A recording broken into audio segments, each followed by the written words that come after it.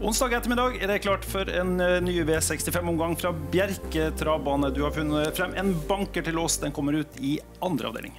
Det er helt korrekt. Og 'Only Be Kind To Me' heter resten som jeg ble mektig imponert over i debuten eh, på Jarlsberg. Og vi kan jo gjenoppleve det oppløpet en gang til. For at man ikke får vinne når man setter banerekord på 15-4 i debuten. Det er nesten litt trist, men Bullship-hoppa kommer til å få vinne løpa sine utover. Det er jeg ganske sikker på. Hun var bra. Elegantima vant. Hun var strålende toer.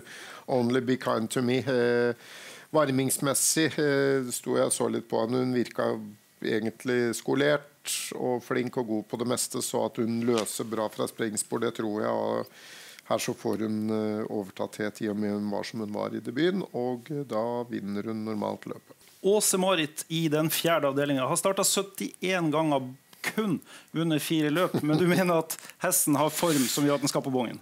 Den er i hvert fall helt uspilt. da, eh, Og den har dukket opp i ny regi hos Anders Andersen. Og jeg synes hun gikk bra sist. Og ute mot eh, fine hester og måtte søke seg luke utover i banen her eh, i det andre paret utvendig nå. Uh, at distansen er kortere enn sist, det tror jeg er en fordel. Hun er ganske bra fra start. At hun skal rå på flere gode hester her, det er kanskje for mye for langt. Men jeg synes det er en spennende hest å ta med seg. Har, hesten har veldig fin form, fint spor, liker distansen. Eh, fungerer hun travmessig, så løser hun um, bra fra start også. Så jeg synes det er en morsom hest å ha med. Mm. Er det lyksstrekk de kaller det? Ja, det er kanskje det. I, uh, i den tredje avdelinga har du funnet frem to formhester til som du uh, vil varsle for. Ja, Når vi spiller inn dette, så er det ikke så stor omsetningen. Men de er for lite spilt, både sju Steinfrøy og ti Vesleorla. Vi kan titte på dem. Når det gjelder Steinfrøy, så Eh, Steinfrøy ble det steingarn for sist, går det an å si det?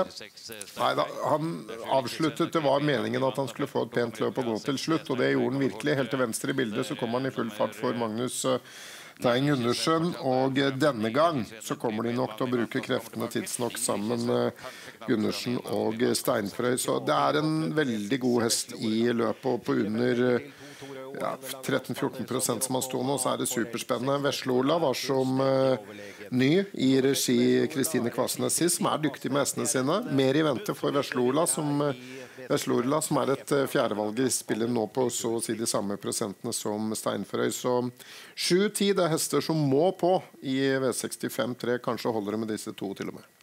Kjempebra, Stian. Takk for det. Skal du være med og spille V65 til Bjerke, så må du huske at kupongene dine må være levert før klokka 16.20. Jeg ønsker deg masse lykke til i spillet.